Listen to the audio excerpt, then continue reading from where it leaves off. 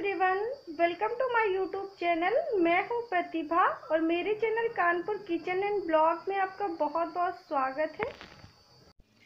Friends आज मैं आपके लिए फिर से एक नवरात्रि स्पेशल रेसिपी लेके आई हूँ, जो कि है आलू वड़ा। और ये आलू वड़ा खाने में बहुत ही टेस्टी लगते हैं। और फ्रेंड्स बहुत ही क्रिस्पी बनते हैं। तो चलिए हम इस क्रिस्पी आलू वड़ा की रेसिपी को बनाना स्टार्ट करते हैं। बट इससे पहले आपसे एक रिक्वेस्ट की अगर आप मेरे चैनल में पहली बार विज़िट कर रहे हैं तो प्लीज़ मेरे चैनल को सब्सक्राइब कर लीजिए।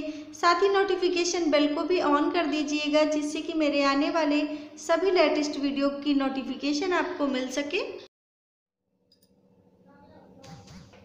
फ्रेंड्स क्रिस्पी आलू बड़ा बनाने के लिए मैंने पाँच उबले हुए आलू लिए हैं। इन्हें हमने छील लिया हुआ है और आलू अच्छे से ठंडे हो गए हैं, जिससे कि हाथ से मैश करने में भी कोई प्रॉब्लम नहीं होगी।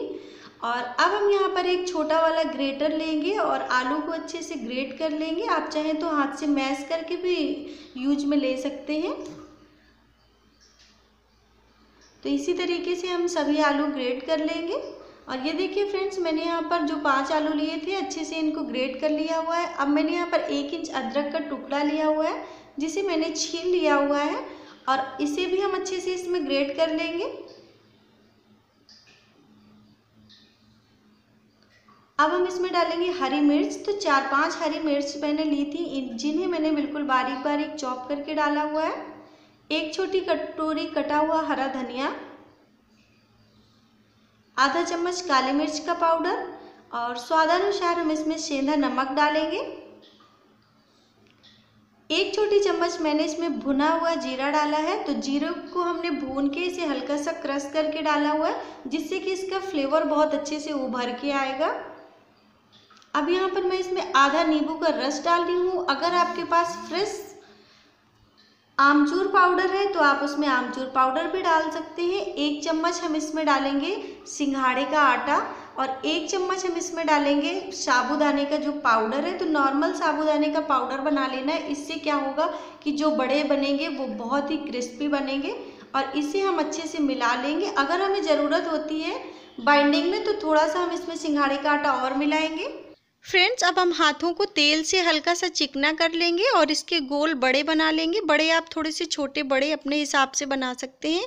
और बड़े बनाने के बाद हम इसमें बीच में फिंगर से होल कर देंगे। तो ये देखिए फ्रेंड्स इस तरीके से मैंने सारे बड़े बना के तैयार कर लिए हुए हैं। अब ये बड़े जो हमारे हैं, वो फ्राई करने के लिए बिल्कुल रेडी हैं। तो जिसके लिए मैंने एक कढ़ाई में तेल गरम होने के लिए रखा है तेल को अच्छे से गरम होने देंगे। जब तेल हमारा अच्छे से गरम हो जाएगा तभी हम इसमें बड़े डालेंगे।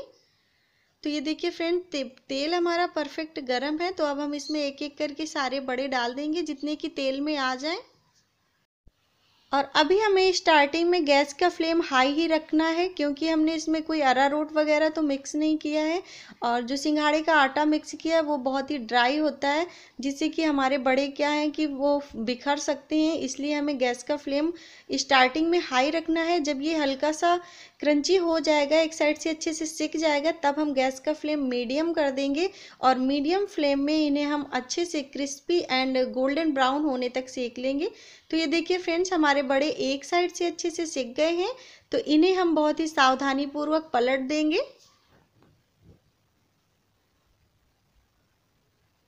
तो ये देखिए, इसी तरीके से हम सारे बड़ों को बहुत ही सावधानी से पलटेंगे, जिससे कि ये टूटे नहीं।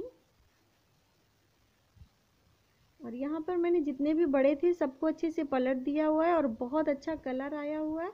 और दूसरी साइड से भी हम इसे क्रिस्पी गोल्डन ब्राउन होने तक सेक लेंगे। और आप देख सकते हैं फ्रेंड्स ये जो बड़े हैं, वो कितने क्रिस्पी बने हैं। तो अक्सर लोगों को प्रॉब्लम ये होती है कि जब वो व्रत में इस तरीके से बड़े बनाते हैं तो तेल में डालने से उनके बड़े बिखर जाते हैं। तो बस आप इस बात का ध्यान रखें कि जब तेल अच्छे से गर्म हो, तभी बड़े डालें। और जब एक साइड से अच्छे से सिक जाए, तब गैस का फ्लेम मीडियम कर दें और अच्छा सा कलर आने तक भून लें। और ये हमारे बहुत ही क्रिस्पी बड़े बनकर तैयार हैं। तो इन्हें हम एक प्लेट में निकाल लेंगे। फ्रेंड्स आप इन बड़ों को अपनी पसंद की व्रत वाली किसी भी चटनी के साथ खा सकते हैं या आप चाहें तो इन्हें चाय के साथ भी खा सकते हैं ये आपको बहुत पसंद आएँगे। फ्रेंड्स आप लोग इस रेसिपी को एक बार ज़रूर ट्राई करना और मुझे उम्मीद है कि आज की ये रेसिपी आपको बहुत पसंद आई होगी। फ्रेंड्स अगर आपको आज की रेसिपी अच्छी लगी है तो प्लीज़ मेरे वीडियो को लाइक करें शेयर करें और मेरे चैनल को सब्सक्राइब करें। थैंक यू वीडियो देखने के लिए आपका बहुत बहुत धन्यवाद। जल्द ही मैं आपके सामने फिर से किसी न्यू रेसिपी के साथ प्रस्तुत होंगी। तब तक के लिए बाय बाय टेक केयर